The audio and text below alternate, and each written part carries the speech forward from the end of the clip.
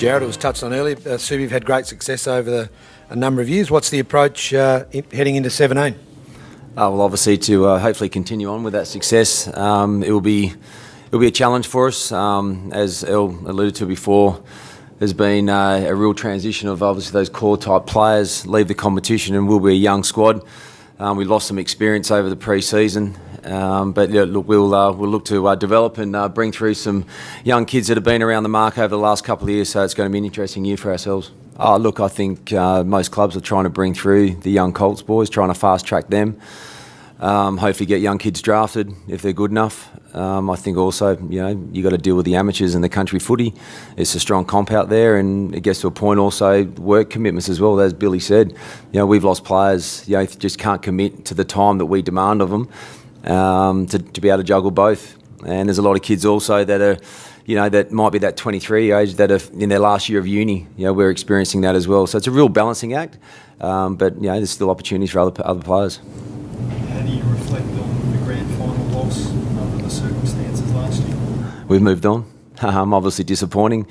We just weren't good enough on the day. Uh, we put a lot of time and effort into the season and you know, gave ourselves an opportunity to uh, hopefully win win another flag, and we, we weren't good enough. And um, you know, it's well well documented how many players they had from from Freo, but we didn't use that as an excuse. We just purely weren't good enough on the day, and um, we we want to improve again. And um, yeah, the pleasing thing for me at the end of the year was that we gave it our best all year and, and they stayed strong. The boys, um, I think we had five to six guys play in their first grand final. Of those players, they were all local product, which was good. And um, yeah, we gave other guys opportunities to, um, you know, to be there as well. So look, we uh, we moved on pretty quickly from it. The boys have trained hard over the pre-season, and uh, you know, hopefully we'll be yeah round the mark again. Jarrad, would you say this is one of the most unknown seasons you've been involved in across the board?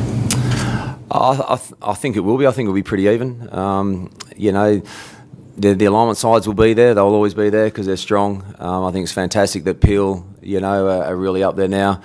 You know, um, we look at the Claremonts. You know, they've got a strong list, having won two grand finals in the Colts and reserves, and so you can go through. I can go through every side. You know, there's a real transition, and you know, you're going to have to be at your best to. Uh, to win those 13 to 14 games to be there. So we're under no illusions as a footy club that you know, you have to be on every game. Um, so uh, it's exciting for the competition. It's an exciting brand, and um, you know, hopefully we'll get a lot of support into the WAFL for it.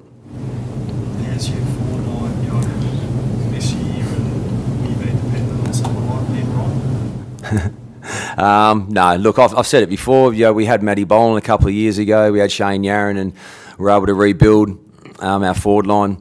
You know, we feel yeah, as Billy said, he's, he's got well, we've got a few more ruckmen to pick from this year. We haven't had a ruckman really for the last three years that's been on the park long enough.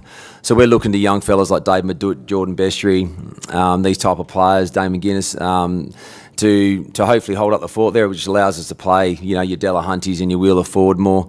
Obviously, Liam, he's well documented, he's a talent, but it's going to be a big challenge for him to be able to back up um, from such a good year last year, coming into the competition for the first time. But we look at Cole Halligan being a new recruit. You know, had 12 months out. Um, we're looking to have him back in the next couple of weeks. So that's a real positive for us. Um, but you've got to look to evolve in the side, and we, we, we feel like we've done that over the pre-season, so we'll have a different mix.